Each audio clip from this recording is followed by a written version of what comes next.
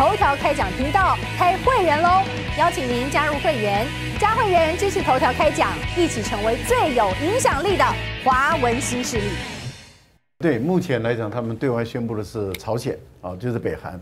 那北韩要打哪一个国家？嗯，我觉得这是一个比较大家应该值得探讨的问题。北韩会不会去攻打澳大利亚？我想没有这个理由。嗯。那北韩如如果要攻打的话，那一定是跟韩国，就是南韩，嗯或者是日本。那另外一个国家，那当然就是美国。是。所以这一次的一个军演在夏威夷附近，然后在这个太平洋这个地方展开，就是采用这个海上的拦截系统。哦哦。那海上的拦截系统，那应该指的就是中断飞行的拦截的方式。也就是说，如果朝鲜它本身要攻打这个。韩国或者日本，那就不应该是在太平洋的另外一端来进行海上的拦截嘛？是，因为如果要进行海上的拦截，应该日本海这个地方，哦，理论上讲应该是这样子嘛。那但是很明显的，他们是在那个地方，那就是代表是为美国而防卫。对，也就是说，防止朝鲜对于美国进行啊洲际弹道导弹的攻击的时候，由这五个国家。来建立一个海上的拦截系统，那这一定是中段飞行，嗯哼，因为穿透大气层，然后在中段飞行的过程中，那想办法把它击落下来。是，那这个当然我们都知道，呃，导弹一旦进入大气层的中段飞行的时候，它基本上是关掉它的这个发动机的，嗯嗯，啊，因为它是采用惯性的抛。抛物射的呃那个抛物线的原理在飞行，那等到它要重返大气层的时候，它的发发动机会重新打开，那打开以后再开始重力加速度去攻击。可是问题就是由于在太空没有重力，没有阻力，几乎是为重力为阻力的情况下，所以它飞行速度很快，但是但是比较高，比较高的情形，呃，我觉得美国这样的一个拦截啊，表面上针对朝鲜，其实你也不能排除。说没有针对俄罗斯，或是没有针对这个中国大陆，对，所以我觉得它是多方面的、多层次的一个考量，但是它避免去过度刺激俄罗斯跟中国，因为这样的话，中国大陆跟俄罗斯也可以呃针对这些国家举行一些联合的军演，对，那所以他就他最好的方法。要就是讲说对朝鲜，那朝鲜没有强大的海军跟空军，所以朝鲜反正就是你把所有的错都怪在朝鲜身上就对了。那他没有强大海军空军，他就哑巴吃黄连了。所以我觉得目前来讲，美国而且每一次都喜欢找找一个理由说维持区域的安全跟稳定。对，其实朝鲜你不制裁他，嗯，然后他为什么要去发展核武？就是因为他没有安全感嘛。嗯。为什么他要发展核武？是因为他眼睁睁的看到两千零三年的时候，美国就因为伊拉克没有核武，嗯，就把人家打掉了嘛。是。就把人家灭了，然后把人家占领，然后把人家石油抢了。这活生生的案例。所以也就是因为有伊拉克的前车之鉴，伊朗跟朝鲜，就是北韩才要发展核武。是。那你今天反过来再怪说你为什么要发展核武？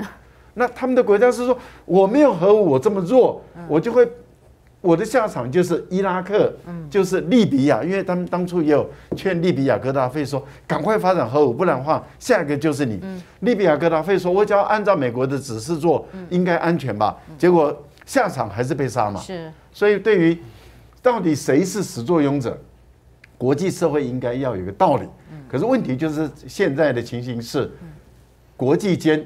这些列强常常不讲道理，这个代表两国的整个军事外交啊，他们的步调是一致。嗯，呃，军演的频率越高，这两个国家的这个紧密性就越高。是，呃，军演的的层次越多，他们的两边的联合作战的能力就越强。嗯，因为整个演习就像作战一样，嗯，那整个作战它是一个很庞大的系统工程，是。它包括指挥、通讯、沟通，然后所有的军事行动都要一致，包括战略、战术，那么甚至战斗的这些想定都要一致。那你想，当美国跟日本的这样的不断的军演，因为美国是有实战经验，日本没有，嗯，但是当日本跟美国这样不断的是。的联合军演的时候，其实对日本的战斗力也是一直在不断的在提升。嗯哼，这个部分里面，中国大陆确实是要要保持高度的一个警戒。哦，其实台湾也是一样。嗯嗯，因为日本对于台湾还是有野心，尤其日本的军国主义对台湾还是有野心。他一直在扶持的是台湾的台独派。嗯，啊，而不是我们这个，因为台湾内部里面也有很多人对日本殖民时代是不以为然的。但是台独的那些人对日本殖殖民的时代里面，他们是是好像就是说以日本为他的老板啊，以他的为为他的组织，所以我觉得在台湾的内部里面，还事实上还是有一股。一股力量，他们本身跟日本是有勾结，他们就是卖台的一群人。嗯，那以日本的这样的一个情形，对钓鱼岛的问题，对台湾的问题，他们还有野心的话，我觉得这还是保持一个高度的警戒了。嗯，因为日本的能力，他的作战能力也一定会经过不断的演练的过程中，从美国那边吸取了很多的经验，嗯从美国那边吸取了很多的能力。是，我觉得他们的作战力当然会提升，尤其日本是募兵制的国家，嗯，他们的军人的服役时间是长的。是。我觉得这个经验的累积对日本来讲是有益的，但是相对来讲对周边的国家就不利嘛。嗯，啊，对台湾也好，或者对于大陆也好，那都是不利的。好的，我来先讲一下这个朝鲜的问题啊。呃，已知自由护盾，这是每一年的军演，嗯。美国跟韩国的军演。是。这个军演名为稳定朝鲜半岛的局势，其实有的时候会演变成为对于朝鲜的一个。威慑或是恫吓啊，过去在啊奥巴马时代啊也举行过啊这个史无前例最大的军演，想要贺阻啊朝鲜不要发展核武，那没有成功。嗯呃，到了特朗普就川普的时代，是也举行过一次比一次更大型的军演，也都想要啊恫吓朝鲜不要发展洲际弹道导弹，或者是不要试爆核武啊。但是也都没有成功，因为金正恩都不理会他们。对，一直到呃这个上一任的总统，嗯啊这个文在寅上来了以后，文在寅由于他很了解北韩，嗯，所以他认为应该要走他前任的，就他以前的老前辈的阳光政策，嗯，也就是说阳光政策就是起那个从这个同同年呃预言里面来的，就是说我们要感化对方，不是用北风去吹。而是用温暖的阳光哦，是那温暖的阳光会使我们就是说，我们自己就把衣服脱掉了。北风与太阳的对北风与太阳的故事是，所以阳光政策、阳光的的推动，其实就是用温暖的心来感动北韩，然后彼此之间能够融合，能够在一起。嗯，那在这样的一个发展过程里面，文在寅也继承了他的老前辈。嗯。那因此呢，有关于已知自由护盾，因为那是跟美国的一个一个一个协定，是，那他就改用这个呃兵棋推演，就是减少这个实兵演练，嗯，那这样的话对于金正恩来说的话，威胁感就没那么大，嗯嗯，那金正恩在核武试爆这个部分就比较有节制了，嗯，然后在导弹的试射这个部分就比较有节制，对，所以相对来讲，朝鲜半岛就稳定一些了，对，但是现在的这个。就一直挑起这样的，对，尹锡悦上来了以后，就整个把文在寅的政策全部推翻了。嗯，那又要开始举行联合实兵的演练。嗯，那对于金正恩来讲的话，那他当然，那就是你这样做，我就有核武试爆的正当性。哎，所以他就准备要开始进行核武试爆。那当然，你也可以说，因为传出金正恩要进行核武试爆，嗯，那是根据联合国的这个原能机构说，好像感觉金正恩。有要做这个核武试爆，是。那是因为金正恩在这段时间以来，那么跟川普见了几次面，两次面，嗯哼，然后意思也就是说，如果美国跟朝鲜的关系改善，他可以不要做核试爆，是是，但是他要换得的是，你要解除对我朝鲜的经济制裁，是，有而且要在联合国的安理会里面是可溯及性的，嗯，也就是说以前的制裁那就解除了。那这样的话，我换得我对于核武的问题不要再去做施暴。那两次的见面以后，他觉得都被川普骗了，骗了，骗了以后，他就觉得遥遥无期。然后呢，美大陆也劝韩国好几次说，你在联合国安理会提出，嗯，说要解除部分的这个制裁嘛，那我们就能够帮你做事嘛，也能够帮你圆。那韩国迫于美国的压力也不敢提，是。那迫于美国压力不敢提，所以安理会就没有办法处理，没办法处理。你看现在的文在寅任内的时候没有任何成成果，那现在尹锡悦上来以后马上恢复这样的一个演习，那当然朝那个金正恩就会就会恫吓了，是。就是说你做那我就做，是。那一旦施暴的话那就不得了，因为朝鲜没有超强大的电子计算机，所以他没有办法用电子计算机做模拟的核爆试验，所以它一定要实际上的核爆试验，那个数据才有效。可是，一旦做出来以后就不得了。所以我觉得，目前来讲，朝鲜半岛又进入了一个相对于过去来说又不稳定的一个更加的不安定，更加不安定。我觉得德国它在改变它过去的韬光养晦的这种策略，因为德国是二次世界大战的发动国。所以它有一个战争的原罪在里面，因为它是一个发动。变了，德国也变了。那我觉得日本也在变，但是日本跟德国又不一样，是因为德国它有对它二次世界大战有忏悔、有道歉、有认错，然后还把这个他们当初纳粹的集中营把它完整的保存，然后他的以前的总理还去下跪，哦。对于二次大战的发动，德国很认真的忏悔。可是我们在强调日本。对亚洲国家没有，但是德国对欧洲国家有。那德国在过去的前总理、前前总理就是梅克尔的的恩师，啊，科尔，他本身啊，科恩啊，他本身就一直追随这个密特朗，然后啊，紧紧的跟着法国走。那您看，经过这么多年的修补，他取得了欧洲人的信任。现在德国他成为欧洲最强大的国家，超越法国。是。我觉得德国要向亚洲的国家也要展示它的军事的影响力，因为军事的影响力会会强化它的政治影响力，哦，政治影响力会强化它的经济上的一些作为，嗯哼，所以会使德国的产品或者德国的影响力在世界更大。那他这一次就是向亚洲国家来展示，就是说德国的现在有能力，嗯，啊，因为他这个 T 风战机啊，就台风战机，嗯。这个欧洲台风战机是跟英国、意大利、西班牙等这几个国家他们合作共同研制生产的，因为法国要自己独自发展。哦，那德国就跟欧洲的这些四个国家，他们就把它合合作发展，所以他就采购了买了他们自己发展的东西，也想往外国外卖，也想往国外卖。他这次是这样输出，他想输出，而且德国的地面，因为德国没有战略武器，他不能有发展战略武器。但是德国的地面的坦克，还有它的导弹的作战能力很强。好，德国现在的做法是这样，它向亚洲国家展现德国已经有能力，而且它可以参与区域的问题了。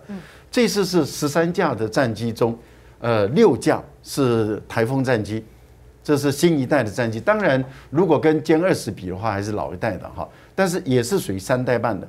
那这个三代半战机，它要从德国巴伐利亚那边开始起飞。